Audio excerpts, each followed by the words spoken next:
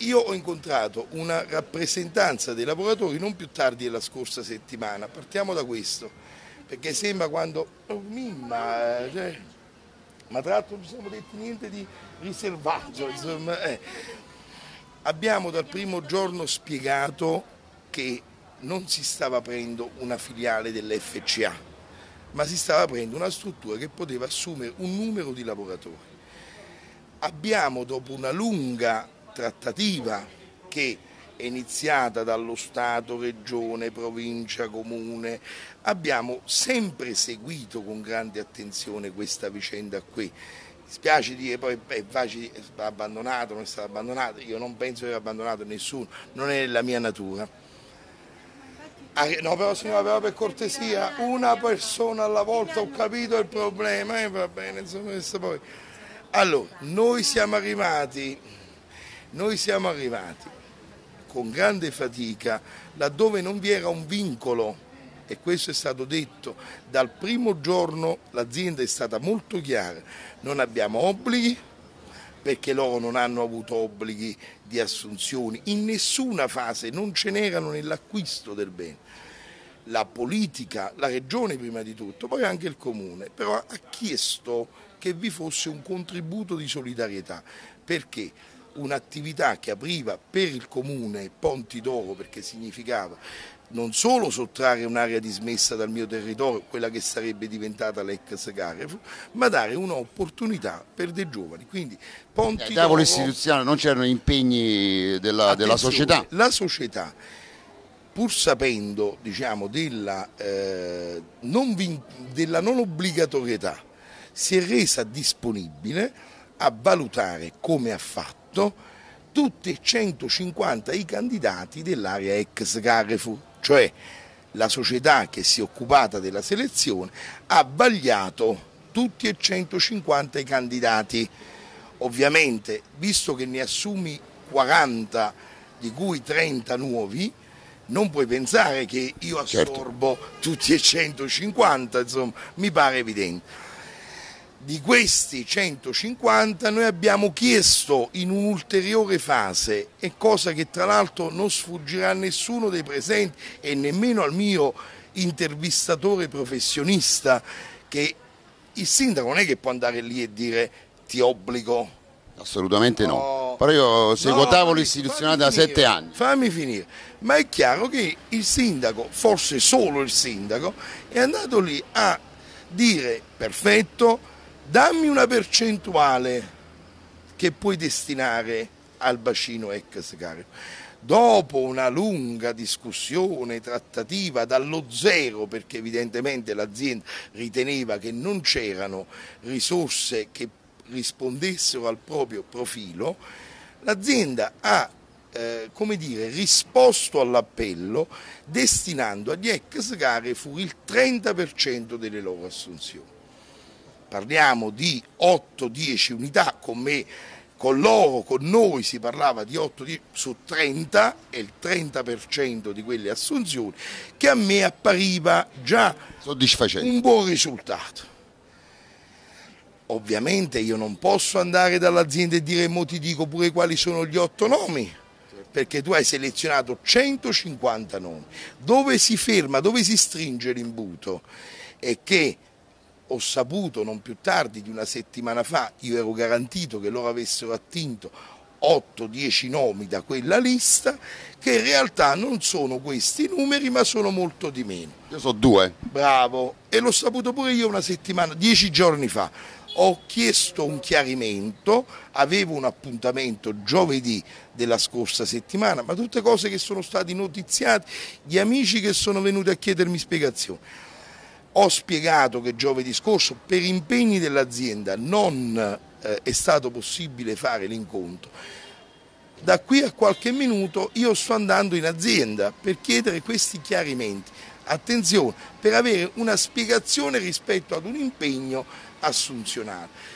Impegno che non è obbligatorio, che è, che è, frutto di una coscienza dell'imprenditore che è venuto qui. Ma infatti noi investire. pure come informazione non abbiamo mai messo sotto accusa Guarda, eh, la società Il Globo. So Io sotto accusa un po' personalmente, fammi dire una cosa solo al volo, sì. personalmente ho visto partecipare eh, molti consiglieri regionali eh, a questa vertenza, ho visto spendere parole, mi ricordo le campagne elettorali, pure quell'ultima alle regionali eh, ho fatto già dei nomi, no? mi, mi, ricordo Tommaso Casillo, Francesco Emilio Borrelli, eh, tu stesso quando ti sei candidato a sindaco, che quell'area sembrava che dovesse diventare eh, diciamo, la spiaggia di, di Long Island con il mare, le sedie e tutto il resto, io vedo ancora una situazione molto disastrata in quel territorio, vedo un campo rom che insiste in quell'area, e nessuno, insomma sono anni che si sono fatti battaglie su quel campo, vedo un'area ancora molto degradata. Devo dire il vero che il Globo ha fatto l'investimento e qualcosa, qualcosina lì sta cambiando. Però ho visto anche molto, molti politici spendersi, mi ricordo a Barbato, vi ricordate Barbato di Italia dei Valori che veniva lì a stracciarsi no, le vesti? Non voglio eh. togliere la parola eh. e soprattutto se non voglio fare un comizio. Ecco, però, bravo, se no diventa... Il politico sei tu. No, eh. ma lascia stare. Allora, Premesso, io parto da un, rispondo del mio, non posso rispondere di terzi. Allora, io, Cosa può fare il comune? Io, allora, io ti porto questo tipo di feedback che ho io. Mo lascia stare, accantoniamo un attimo la questione del campo Rom che tu metti giustamente in evidenza, ma è un problema assai più articolato, tra l'altro di recente anche sulla ribalta nazionale. Che questo intervento eh, questo insediamento produttivo, oltre agli innegabili benefici che ha prodotto in termini comunque di una ricaduta occupazionale, ha riqualificato un'area che da oltre un decennio ormai era abbandonata. Sono d'accordo con te. Questo, quindi, come dire, mi consentirai di dire meriti anche all'amministrazione che, come hanno stesso ammesso gli eh, i titolari dell'azienda non hanno fatto nulla per ostacolare i percorsi amministrativi finalizzando a questo obiettivo e quindi la metto come un punto di orgoglio che oggi un imprenditore serio abbia investito sul nostro territorio. Detto questo, che io dal primo giorno avessi la certezza che quella l'unica iniziativa, cioè il quinto dell'insediamento produttivo, potesse risolvere i problemi del bacino ex Carrefour, non solo non l'ho mai detto, non l'ho nemmeno mai detto a loro perché era evidente che se abbiamo 150 domande l'offerta è di 40 anzi di 30 perché 10 viene dagli esodati non avrei mai potuto assumere un impegno del genere. E forse qualcuno di questi oggi presenti dovrebbe ammettere che a differenza di tante altre chiacchiere che si andavano a prendere un po' dappertutto il sindaco di Casori ha parlato dall'inizio e mi augurerei che qualcuno alzasse il dito per dare conferma a quello che dico ha parlato un linguaggio della verità, non mi sono mai nascosto nulla, ho spiegato quali erano i passaggi, ho cercato di rendere partecipi e se ricordo bene, ma può essere che mi sbaglio, all'inizio le tante riunioni alle quali nemmeno ero convocato, che si facevano da altre sedi istituzionali o presunte tali, eh, l'unico invitato che non c'era mai era l'azienda. Io questo me lo ricordo come uno degli elementi critici alle riunioni che si facevano in altri enti istituzionali e forse l'unico che ha tentato di eh, come dire, sdoganare un percorso diverso è stato proprio il sindaco di Casori. Attenzione, non perché il sindaco se ne voglia prendere un merito, ma per ripristinare la verità. Ora io dico, rispetto ad una notizia che io non conosco, voglio chiedere, come farebbe un buon giornalista, la fonte e l'informazione e la Proveremo a sentire pure noi il globo per capire eh, cosa può come, rispondere. Non male come idea, anziché eh, beh, ottima idea secondo Chiederò me. a te il contatto Guarda, diretto per parlare con loro. Sto andando lì.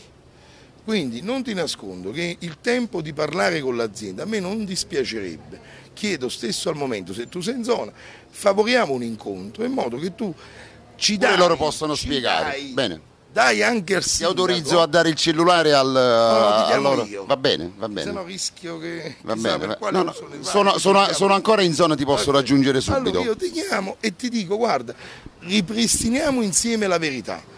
Perché se poi c'è una verità, quella verità deve uscire, deve emergere. Certo. Perché se uno mi dice A e l'altro mi dice B, io devo capire dove sta l'A e dove sta B. Ma se io in qualche caso insomma, ho messo sotto accusa la classe no, politica, l'ho fatto perché io Guarda, stesso ho partecipato a questa, uh, boh, uh, questa protesta. Eh? Perché se no diventi tu il politico. Bene. Allora, no, ascoltami no, non ci tengo proprio. Lo so. Allora, ascoltami un attimo. Il tuo ruolo è mettere sotto accusa la politica, perché un buon giornalista questo fa. Ora il tema è un altro però. Io non, non posso, premesso che questo lo ritengo un metodo sbagliato, perché dato che sono cose delicate, anche un'intervista, quella che sto rilasciando adesso, per me non è un modo giusto di operare, però visto che io non posso temere tu dici, tu, dici, tu dici, che noi stiamo forzando la mano no no, no ovviamente eh. non è a te il riferimento. Dico che in genere se uno sta portando avanti un, un percorso alla luce del sole, ma dico certe cose possono dar fastidio all'azienda, possono dar fastidio, perché non ragioniamo con la testa del dipendente e del sindaco. Io però mi metto un attimo nei panni di quei, mm. di quei 40, non so quanti sono, che il 31 dicembre 2017 hanno perso l'ultimo sostegno no, insomma, che avevano e sono capi, sono capi famiglia. Quindi continui, credo che allora, sia veramente complicato che, continuare a ragionare però, serenamente. Penso, però Maurizio, penso che tu che a questo punto completa l'intera osservazione, perché se tu sei preoccupato figurati io. Ora il tema è un altro però, non è quello di essere preoccupati per quelli che finiscono un ammortizzatore sociale, è capire se abbiamo le possibilità di garantire a 40 persone un inserimento, perché se io ti parlo di, un, di una capacità assunzionale di 40 persone, anzi di 30, io non penso che questi 40 non li possiamo salvare nel mio passaggio a Globo. Su questo è pacifico, anche perché gli step successivi saranno di altre aziende che dovranno, altre quattro aziende che dovranno... Io però posso dire pure che il tuo governatore... No, fammi completare, poi mi dice il governatore è chiaro che come sindaco e chi guarda un po' più distaccato, se riuscissimo a raggiungere l'obiettivo di collocare su ciascuna il 30% della loro capacità sociale, che è un grande risultato, probabilmente noi abbiamo assottigliato di parecchio il bacino.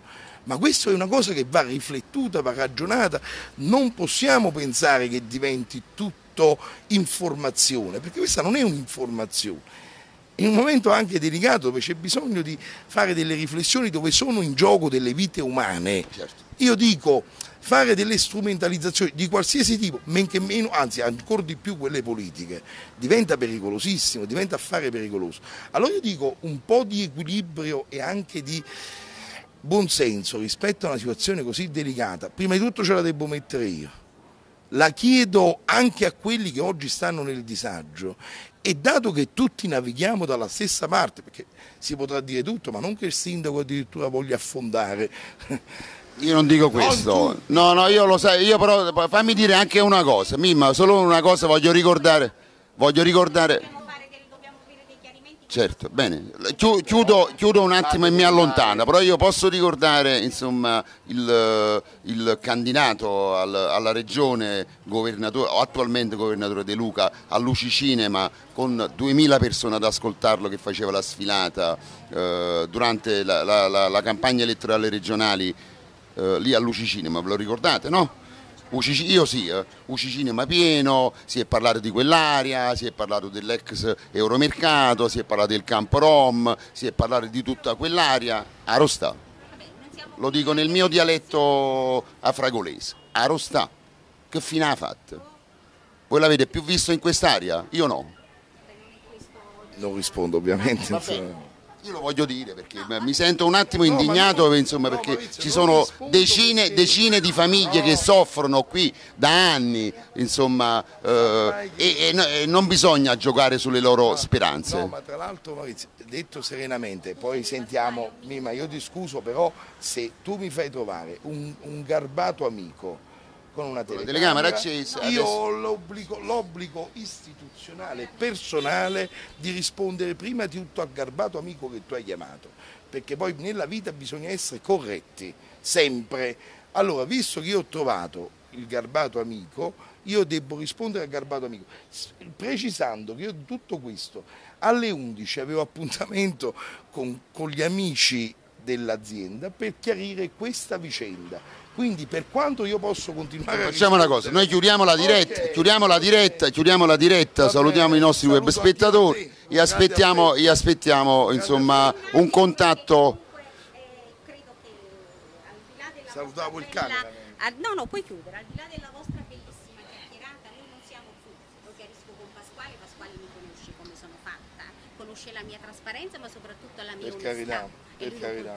Ah, confermo qui, tutto. Noi non siamo qui per attaccare il primo cittadino di Casoria. Ma questo per sollevare il... Questo è, da, questo è da escludere, non siamo qui per strumentalizzare perché non permettiamo a nessuno di strumentalizzare sul nostro dramma e ci dovete credere è un dramma che ti ripeto che nessuna uh, lo possiamo elevare alla massima potenza ma non vi è un numero che lo possa quantificare. Noi siamo qui per dire a Pasquale ancora una volta c'è un dramma, un dramma che è sociale, che è soprattutto di carattere sociale, perché la problematica rimane su questo territorio. Tutte le problematiche rimangono a lui come primo cittadino, perché è l'interlocutore in quanto la struttura che sta nascendo sta nascendo su, sta nascendo su questo territorio. Ancora una volta gli veniamo a dire c'è una situazione che dal nostro punto di vista non è chiara, non è trasparente, siamo preoccupati non per oggi, ma noi siamo preoccupati per la prospettiva, per quello che avverrà su quel centro commerciale,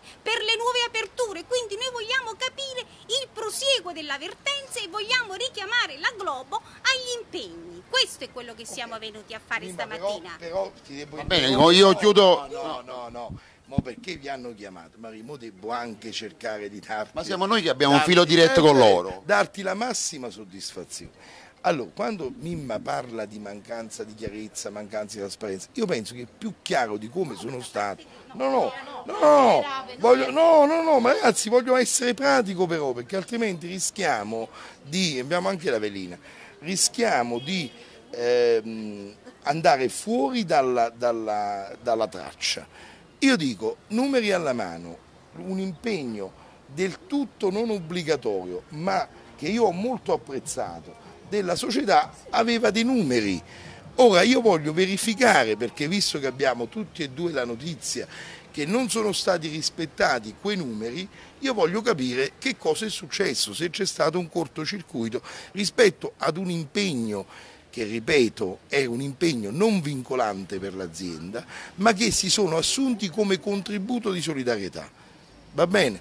Ora, fosse il cielo, aggiungo io, che tutte le aziende che vengono ad investire, qualora fosse confermato il dato, all'interno di quel complesso assumessero sulle proprie spalle una percentuale analoga, ho ripetuto qual è, qual è il percorso e la visibilità. Ora il tema non è tanto, Anello, eh, scusa, una persona importante va salutata in diretta televisiva direbbero, va salutato, il miglior dipendente comunale che abbiamo.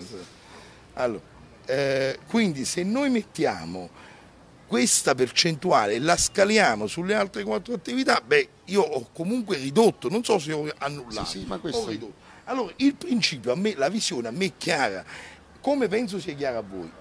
I temi sono un po' più articolati e qualcuno di questi li abbiamo sviscerati anche in sedi più opportune di quella pubblica con il microfono e la telecamera, quindi io penso che, come dire, o collaboriamo e capiamo che stiamo tutti navigando dalla stessa parte o diventa un po' più difficile, questa è un po' la situazione.